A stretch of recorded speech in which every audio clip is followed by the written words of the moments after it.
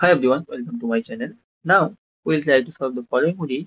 dy by dx is equal to x times 2 log x plus 1 by sin y plus y cos y. So note that this is a separable function. We can separate x and y. Yes. So we can separate x and y in the differential equation. So we get sin y plus y cos y. We just cross multiply. Then we get x times 2 log x plus 1 dx. So here we get uh, two uh, separable things.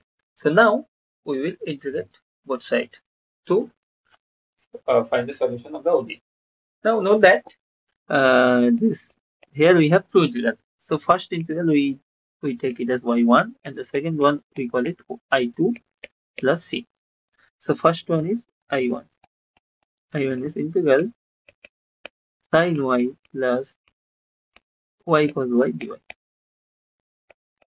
So, uh, integral of sin y is minus cos y plus y cos y dy. So, minus cos y and we'll solve this integral y cos y by integration by parts. So, what we'll do? First, we have y integral of cos y is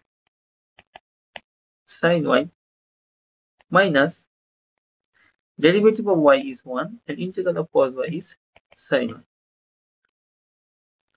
So we have minus cos y plus y sin y and it is nothing but integral minus sine y. So integral minus sine y is uh, uh, sine integration of sine sin y is minus cos y. So minus minus plus. So we have cos y and this cos and this cos get cancelled so we have here y sine now we try to compute what is i2 i2 is x times 2 log x plus 1 dx so it is if we uh, simplify this we have 2x log x plus x dx so we have 2x log x plus x dx.